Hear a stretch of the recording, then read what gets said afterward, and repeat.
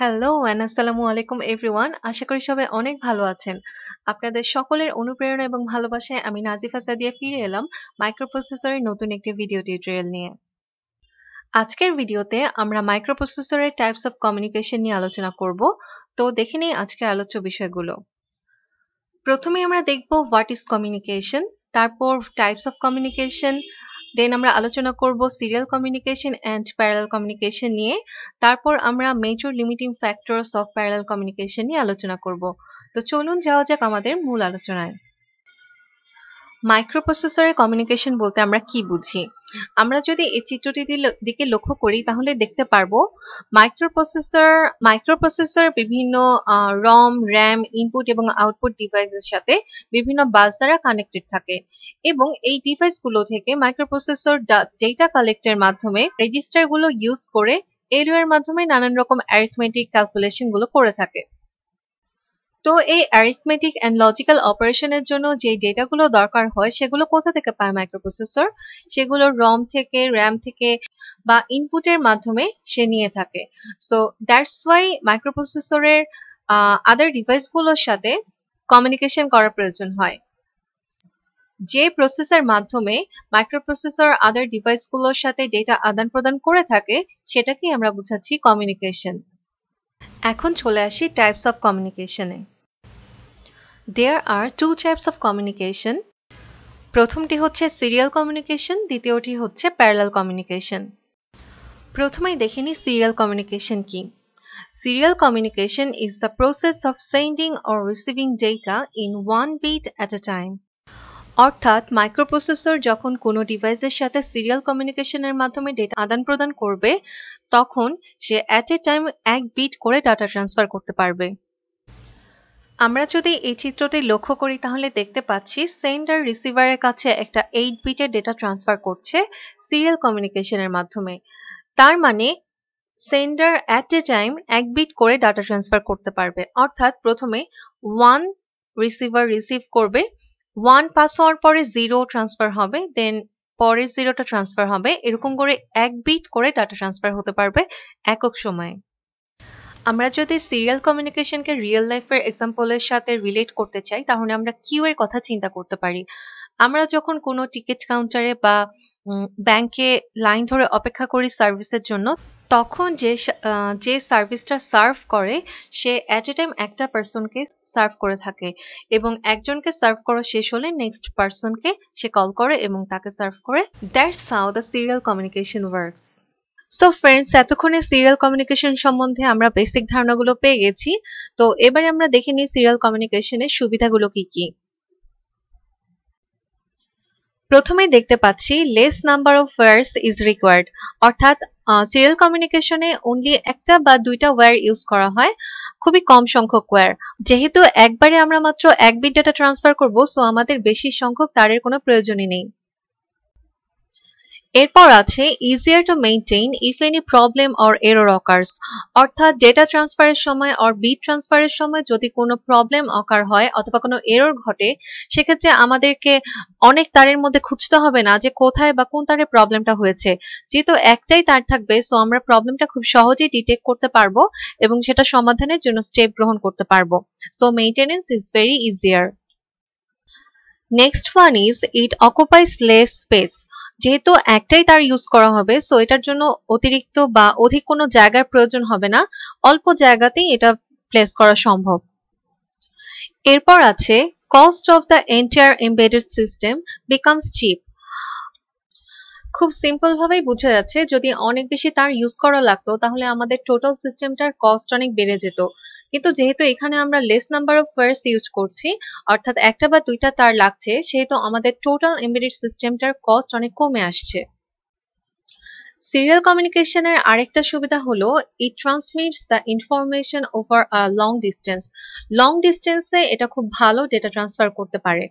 And the last advantage is it's a simple system কোনো complexity নেই, অনেক বেশি তার নেই, কোনো ঝামেলা নেই।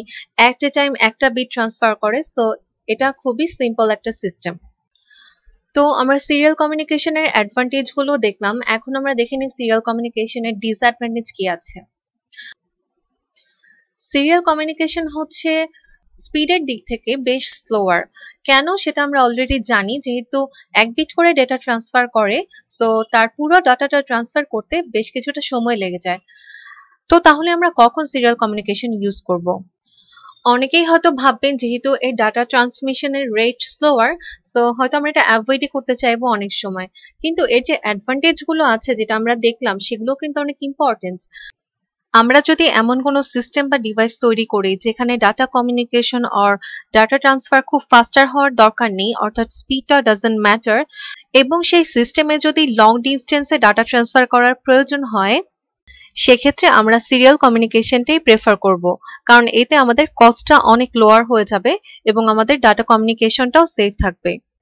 কিন্তু যদি এমন কোনো সিস্টেম হয় যেখানে স্পিডটা ম্যাটার করে, অর্থাৎ ফাস্টার কমিউনিকেশন প্রয়োজন, সেক্ষেত্রে কিন্তু সিরিয়াল কমিউনিকেশনটা প্রেফারেবল না এরপর চলে আসি প্যারালাল কমিউনিকেশনে Parallel communication is the process of sending or receiving multiple data bits at a time through parallel channels.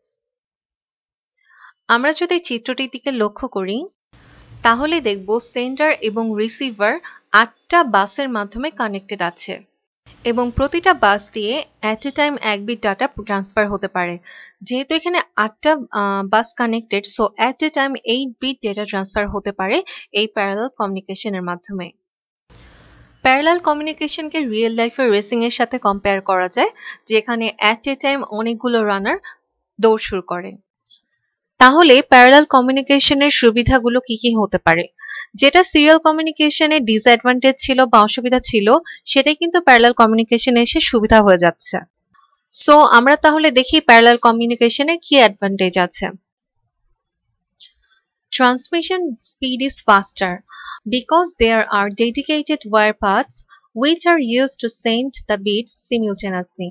অর্থাৎ এখানে অনেকগুলো ডেডিকেটেড ওয়্যার পাথ থাকে বা চ্যানেল থাকে, যেগুলোর মাধ্যমে অ্যাট এ টাইম অনেকগুলো বিট ট্রান্সফার হতে পারে। সো বড় কোনো ডাটাও ইজিলি সেন্ডার টু রিসিভার খুব দ্রুত চলে যেতে পারে।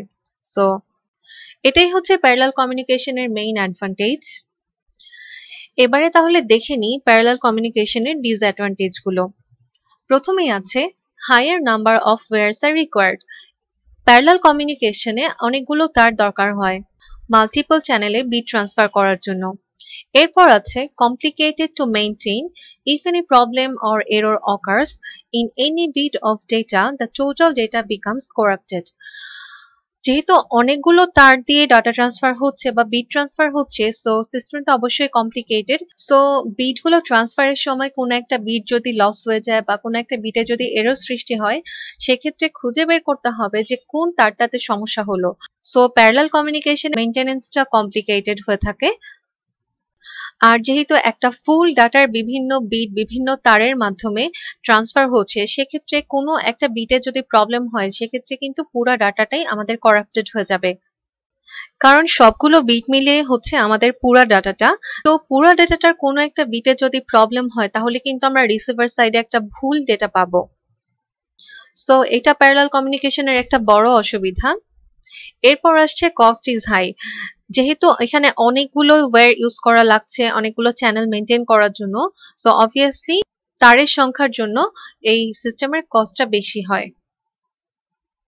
And last one is complex system with lots of অনেকগুলো তার ইউজ করার কারণে এই সিস্টেমটা অনেক কমপ্লেক্স হয়ে থাকে।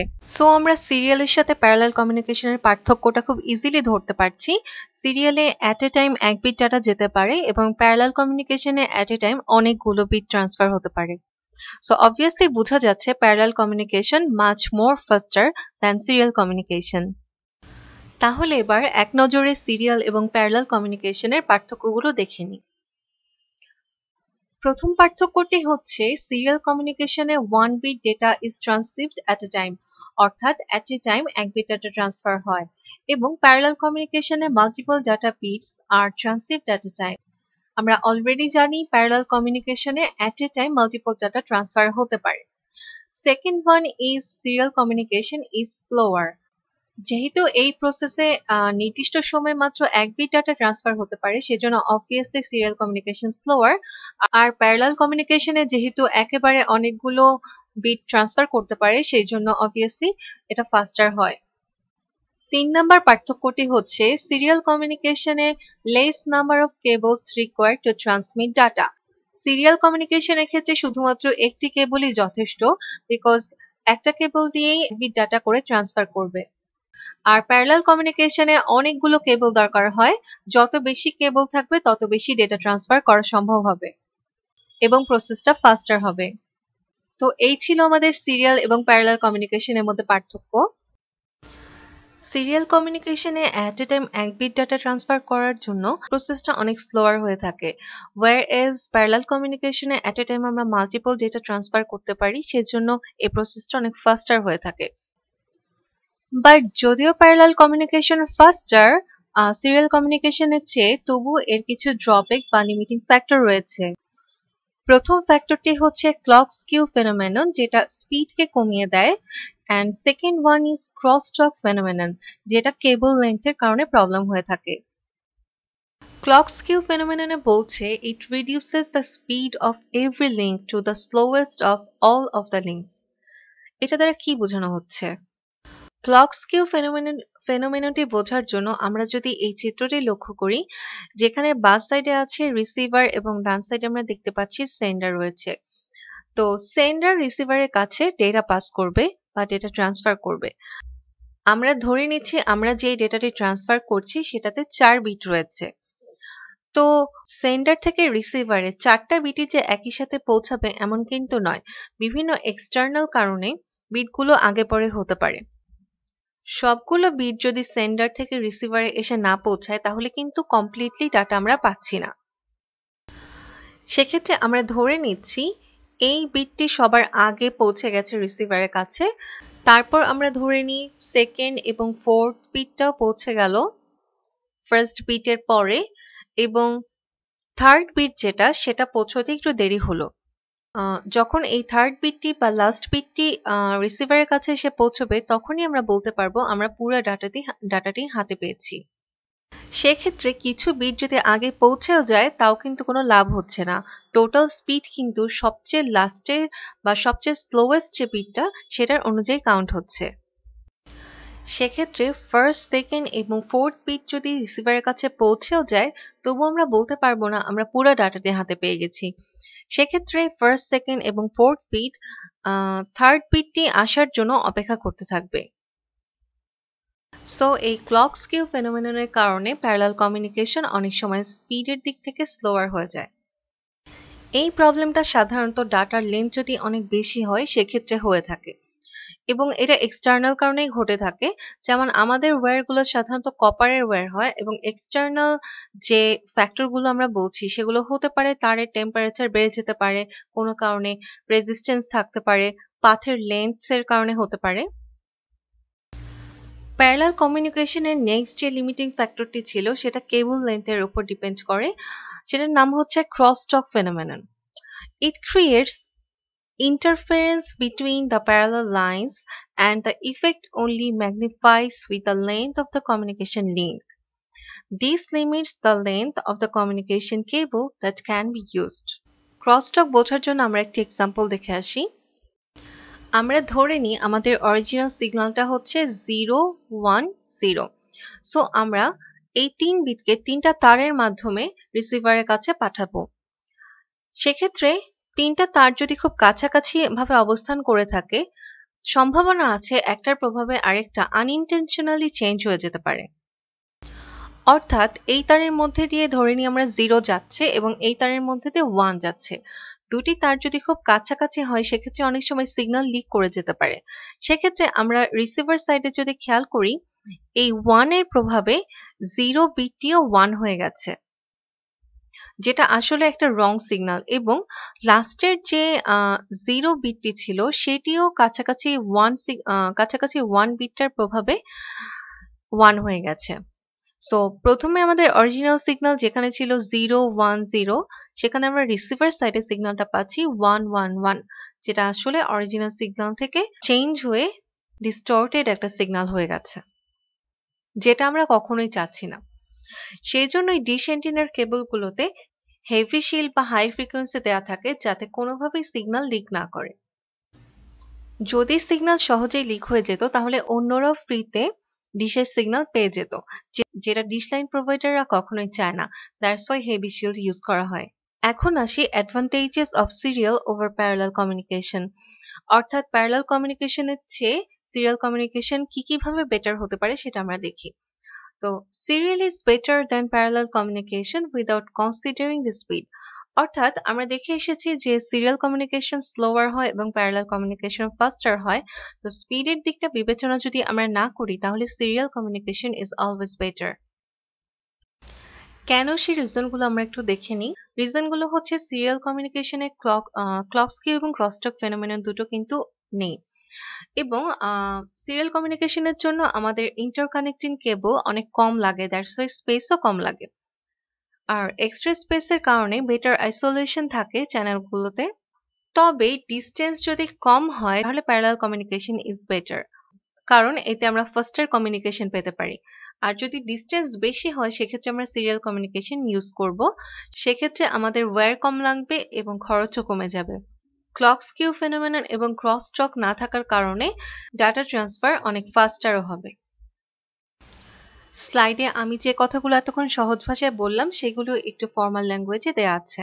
About clock skew crosstalk and advantages of serial over parallel communication next আমরা যে টপিকটি সম্বন্ধে জানব, সেটি হচ্ছে ইউএআরটি ইউএআরটির ফুল ফর্ম হচ্ছে universal asynchronous receiver transmitter UART হচ্ছে মাইক্রো কন্ট্রোলারের একটা ফিচার যেটা হচ্ছে একটা piece of computer hardware that converts parallel data into serial data micro কন্ট্রোলারে কখনো কখনো সিরিয়াল কমিউনিকেশন প্রয়োজন হয়, আবার কখনো প্যারালাল কমিউনিকেশন প্রয়োজন হয়। যেমন মাইক্রো কন্ট্রোলার আউটসাইড ওয়ার্ল্ডের সাথে সিরিয়ালি কমিউনিকেট করে এবং ইন্টারনাল অর্থাৎ একটা রেজিস্টারের সাথে আরেকটা রেজিস্টারের যে কমিউনিকেশনগুলো হয়, সেগুলো প্যারালাল কমিউনিকেশনের মাধ্যমে হয়ে থাকে। আরেকটা এক্সাম্পল দেওয়া যায় যে আমাদের ইউএসবি বা পেন ড্রাইভের মাধ্যমে আমরা যে ডেটাগুলো আদান প্রদান করে থাকি, সেটা যেহেতু আউটসাইড ওয়ার্ল্ড সো এটা সিরিয়াল কমিউনিকেশনের মাধ্যমে হয়ে থাকে। এখানে আমরা দেখতে পাচ্ছি অ্যাসিংক্রোনাস বলতে একটি কথা আছে, তো এটা আমরা হালকা একটু জেনে নিই। সিঙ্ক্রোনাস ডেটা সিঙ্ক্রোনাস বলতে বোঝানো হয় যেখানে ক্লক সিগন্যাল ইউজ করা হয়। আর অ্যাসিঙ্ক্রোনাস বলতে বোঝানো হয় যেটাতে কন্ট্রোল বিট, অর্থাৎ start and stop bit use করা হয়। তাহলে আমরা দেখতে পাচ্ছি ইউএআরটি হচ্ছে এমন একটা পিস অফ কম্পিউটার হার্ডওয়্যার যেটা যেটা সিরিয়াল ডেটাকে প্যারালাল ডেটা এবং প্যারালাল ডেটাকে সিরিয়াল ডেটাতে কনভার্ট করার কাজে ইউজ করা হয়ে থাকে। সো এটা হচ্ছে ইউএআরটি এর একটা সিম্পল ইন্টারফেস এখানে আমরা দেখতে পাচ্ছি ডান পাশে সিরিয়াল কমিউনিকেশনের জন্য স্পেস রয়েছে এবং বাম পাশে প্যারালাল কমিউনিকেশন যেটা ইন্টারনাল কমিউনিকেশনের জন্য ইউজ করা হয়ে থাকে। Here we can see another term USART which stands for Universal Synchronous Asynchronous Receiver Transmitter. So আগেরটায় যেরকম শুধু অ্যাসিঙ্ক্রোনাস ছিল, এখানে আমরা দেখতে পাচ্ছি both synchronous and asynchronous receiver transmitter রয়েছে সিঙ্ক্রোনাস ট্রান্সমিশনে যেহেতু কোনো start or stop it use করা হয় না, সেই জন্য এটা ট্রান্সমিশনের ইফিসিয়েন্সি বাড়ায় এর কারণ হচ্ছে টোটাল ডেটার পুরোটাই ডেটা হিসেবে বা ইউজেবল ডেটা হিসেবে ইউজ করা হচ্ছে। আর যদি স্টার্ট এবং স্টপ বিট থাকতো, যেটা অ্যাসিংক্রোনাসে থাকে, সেক্ষেত্রে আমাদের শুরুর এবং শেষের বিটটা স্টার্ট এবং স্টপ বিট হিসেবে ইউজ করা হয়। দ্যাটস ওয়াই সিঙ্ক্রোনাস ট্রান্সমিশনটাকে বেশি এফিসিয়েন্ট বলা হচ্ছে। এখানে চিত্রে আমরা বাম পাশে প্যারালাল এবং ডান পাশে সিরিয়াল কমিউনিকেশনের পোর্টগুলো দেখতে পাচ্ছি। সো গাইস আজকের ভিডিও এ পর্যন্তই থাকল। নেক্সট ভিডিওতে আমরা কমিউনিকেশন প্রোটোকলগুলো সম্বন্ধে ডিটেইলে আলোচনা করব। Thank you so much